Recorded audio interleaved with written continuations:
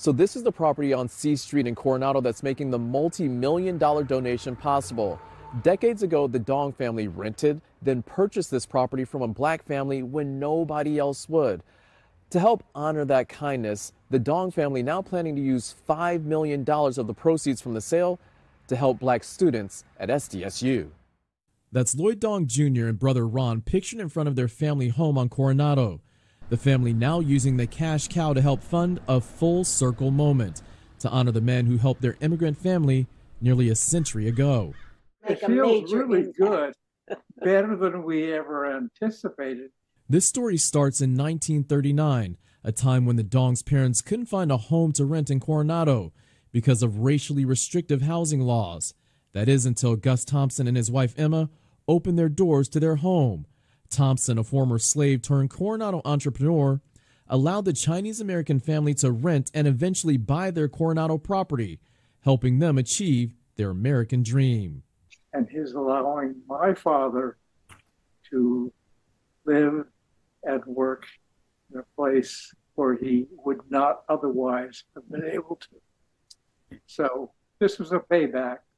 That payback coming in the form of a $5 million donation to San Diego State University's Black Resource Center and renaming it after Emma and Gus Thompson. And it's about passing it forward. So this goes right along with the kinds of things that we're teaching them already. Dr. Brandon Gamble heads the Black Resource Center. He says not only will the funding help provide scholarships, but it will also go towards supporting students by making sure upper class mentors are readily available for lower classmen as well as being able to bring in professional resources. So we've had folks from LinkedIn um, and other larger corporations come and talk to our students and also do career fairs that directly impact our students' pathway towards success.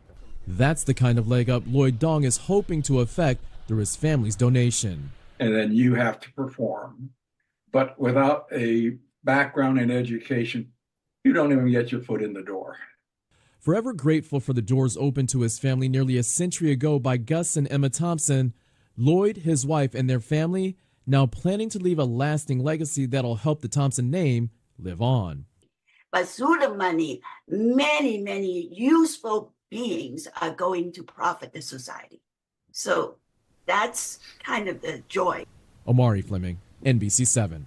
A lot of good people helping others. Uh, the Black Resource Center is hoping to have its grand renaming after the Thompsons sometime this fall.